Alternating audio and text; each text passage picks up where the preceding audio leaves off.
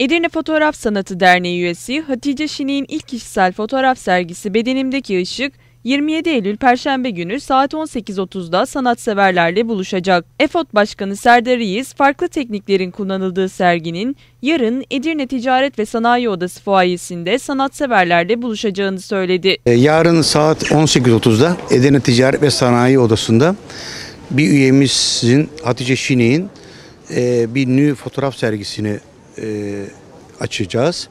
Bedenimde Işık isimli bir fotoğraf sergisi.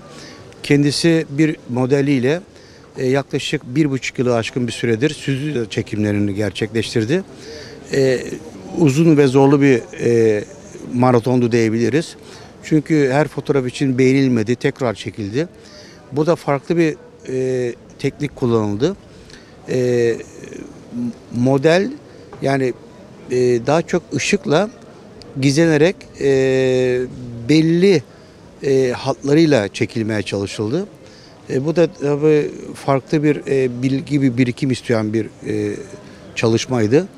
Kendisinin çalışmalarını biz de FOT olarak beğendik. İlk defa bir üyemizin kişisel sergisini böyle büyük bir e, sergiyle dışarıda açıyoruz. E, tüm Edirne halkının e, bu sergiye gelmesini, e, izlemesini e, bekliyoruz. Sergide 30 fotoğrafın yer alacağını belirten İyiz, derneğin ilk nü sergisi olma özelliğini taşıdığını kaydetti. Sergide 30 fotoğraf yer alacak. Ee, aynı zamanda e, bir e, 10 dakikalık bir kemanla bir arkadaşımızın e, e, şey olacak, dinletisi olacak. Ondan sonra Sezai Irmak Özel Sanat e, Okulu'nun dan e, yine iki e, keman bir cello'dan arkadaşımız onların bir dinletisi olacak.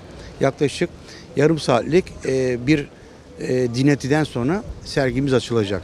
Sergi orada bir hafta açık kalacak. Ondan sonra Edirne Fotoğraf Salonu Derneğimize getireceğiz sergiyi. Orada ondan sonra e, şu an gelen talepler üzerine Türkiye'nin çeşitli yerlerinde sergiyi açacağız.